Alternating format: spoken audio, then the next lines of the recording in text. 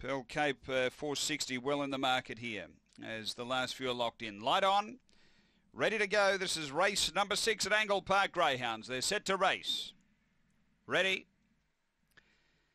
And away. Speed for Alan Jono pushing on hard, going quickly. Victor Wink. Victor Wink takes a lead. Alan Jono two lengths away. Uh, then Rocky G rocks from Slipper Soda, Pearl Cape. Uh, next is Abelor, uh, Phantom Hawk and Alan Yanni, but careering away. Victor Wink races to the bend, four in front over Alan Jono, who is making ground. Victor Wink in front of Alan Jono, and Victor Wink beats Alan Jono. Third is Abelor. Fourth home is Rocky G Rocks, and then came Alan Yanni, uh, Slippers Soda, Pearl Cape, and Phantom Hawk.